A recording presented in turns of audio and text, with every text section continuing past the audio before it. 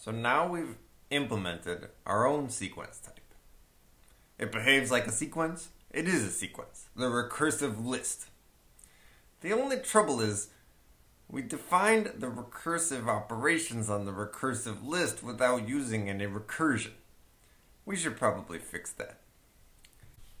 So, we have the len and the get item, functions which are defined in terms of our constructor and selector. Well, let's write recursive implementations of the same thing. So the len recursive version is also going to return the length of s. Let's make sure we call the right function here. And the way it's going to do it, let me scroll down here, is it's going to say if s is the empty R list. That's our base case. In that case, the length is zero. Otherwise, we'll return one more than the length of the rest of S.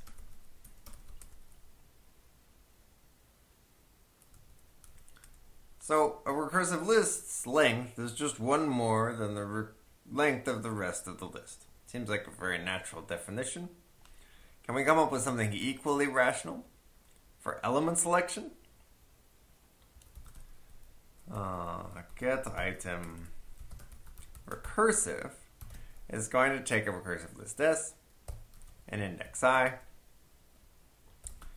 if our base case i is 0 then return the first element of S because the index 0 element is just the first element. Otherwise, well, we're going to decrement i and we're going to look at the rest of the list.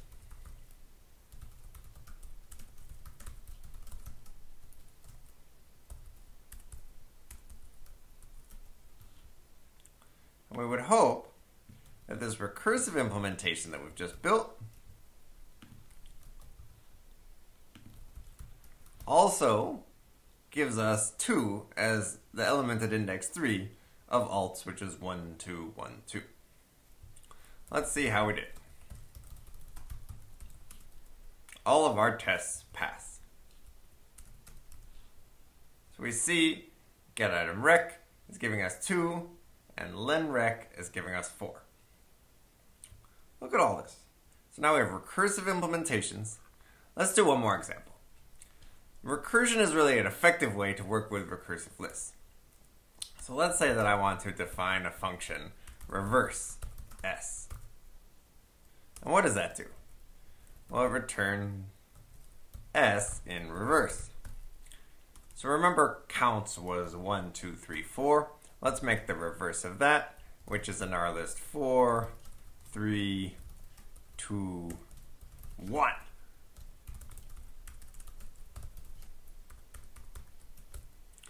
So it should be the case that if I reverse counts, then that equals R. If we implement reverse correctly. Now think about reverse yourself for a minute See if you can figure out how to solve it. Well, I'm going to show you. And it uses a trick that's very helpful for your homework as well. You want to use the same trick in order to implement ping pong. And that is, you should call another function that tracks one more name than this one. So what reverse 2 is going to do is it's going to take the list that you want to reverse and then it's also going to take the result of all the reversing you've done so far. So, so far we haven't done any reversing.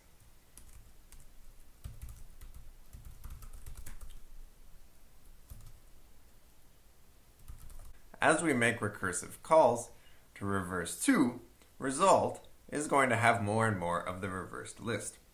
In fact, as a base case, if there's nothing left to reverse in S, then result will contain the entire reversed list. Now, if we're not finished, what we have to do is recurse on the rest of S, but for the first element of S onto the result. So we return the result of calling reverse 2 on the rest of S. And then we build an R list, which starts with the first element of S and is followed by result.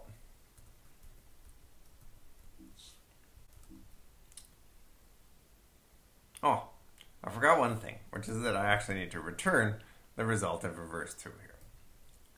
Now we can run our tests again, and we see that all tests pass. Excellent. So I want to do one final thing before we stop today's lecture, and that's to look at all the code that we've written so far. We have recursive implementations, iterative implementations, and some examples, and all of that is separated by an abstraction barrier from the implementation. So all of my tests pass right now. It should be the case that if I change my implementation, none of my other functions need to change. So let's say I discovered that the empty R list can't be represented by none, for whatever reason. Instead, I need to write out empty R list as a string. Do my tests still pass? Yes, they do. Now something has changed. It's the case that the representation of counts now ends not with none, but with empty R list. But since I never really relied on the implementation anywhere below my abstraction barrier, I don't have to go down there and change anything. I could make even more drastic changes.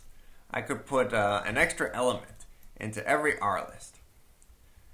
But then the rest is now going to be the element at index 2. I check my tests again, they still pass, even though it's the case that counts is now something entirely different than it was before.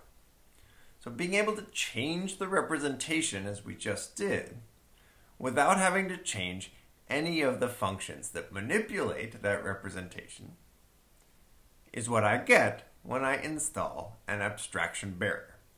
Now this is just a comment. It's a conceptual change that I made, where I just checked to make sure that I never relied on the fact that an R list was built out of tuples, and instead just always use the constructors and the selectors.